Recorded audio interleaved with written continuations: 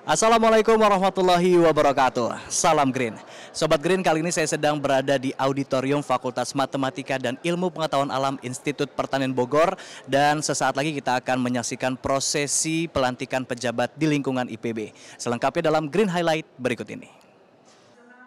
Jumat 2 Maret 2018, Rektor Institut Pertanian Bogor, Dr. Arif Satria melantik para pejabat di lingkungan IPB.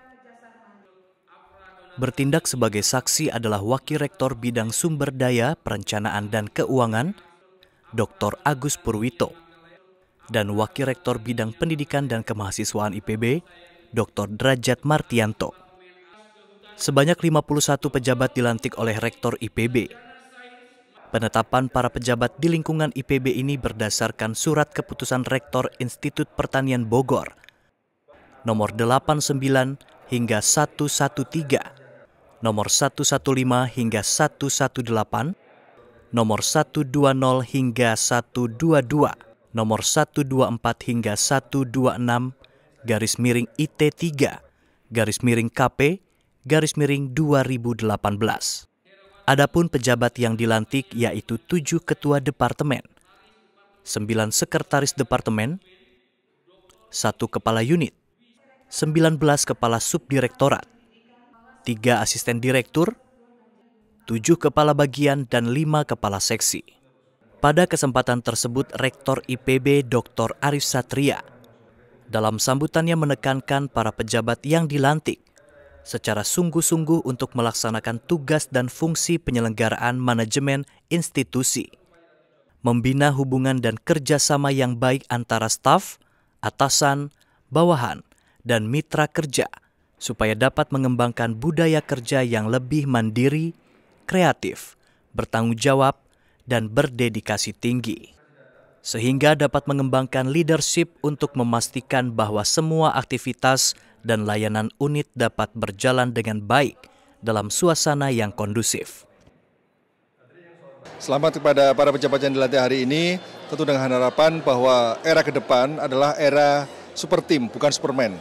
Oleh karena itu kita harus bersama-sama membangun sinergi, menyatukan langkah, dan kemudian kita bisa menyatukan visi. Kekompakan kita akan menjadi andalan bagi kita untuk melangkah ke depan.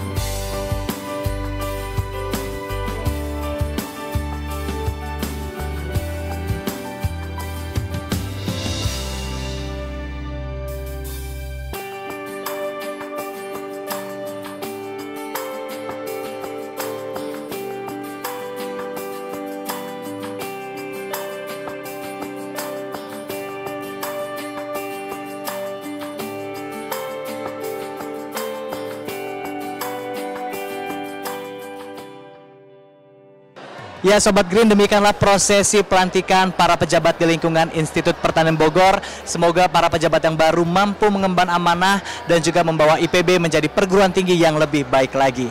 Haikal Saputra dan Rizky Eka melaporkan untuk Green Highlight. Salam Green.